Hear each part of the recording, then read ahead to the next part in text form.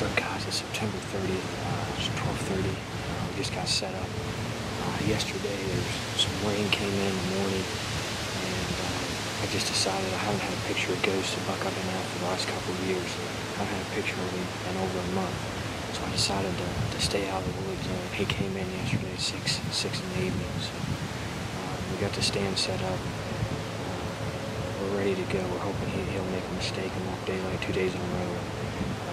I've had a, a, history with this buck for the last four years. Four years ago, he was a basket rack 9 point, and his G2 is literally laid back. And he's been like that since he was a, a little 9 point four years ago. And every year, I just continue to watch him uh, get bigger and bigger. Pounding the minerals, I mean, especially these last two years. And, uh, he's definitely going to be the biggest buck in my life if I can get this done.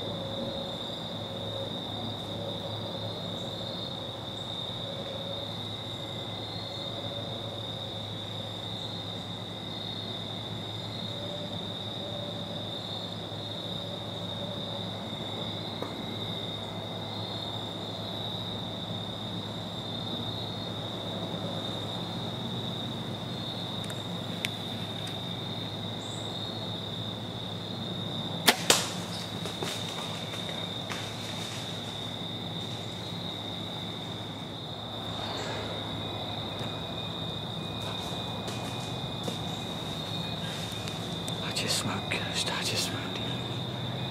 Oh my goodness. He just, he just came out of nowhere. A nice young eight point we had came in. I was just praying Ghost was coming. I was kept praying, praying, praying. Boom, he popped up in the top up here and worked his way down. He stayed in the thick stuff for a while. I couldn't get a shot at him, but uh, I'm pretty sure I just smoked him. It went through him so fast, it kind of almost looked like I missed him. But uh, I heard him, I heard him crash just right over the hill. So just, oh man, what an evening, what an evening. So Trey's at a softball game. I, I skipped a softball game today because I just had a great feeling he was going to be in here. Um, I'm going to wait. I'm going to call Trey and, and, get him here. And... All right, guys, it's 8:13. Um, we had a big cold front come in, and uh, Greg has been chasing this deer for pretty much the last two years. And last night, after four weeks of no pictures of him or anything, he showed up last night on that cold front. Uh, I called Greg and said, You need to get in there. Greg told me that he didn't have a stand yet. So at my lunch on work, I uh, ran over there and I told him, Hey, bud, listen, I'll hang the stand. I'll carry everything up for you. I don't want you getting sweaty. I'll hang the stand. And, uh, whenever I hang it, you climb up in that tree and, and set for the rest of the evening. And uh, that deer is going to move tonight. And I, I was confident in that.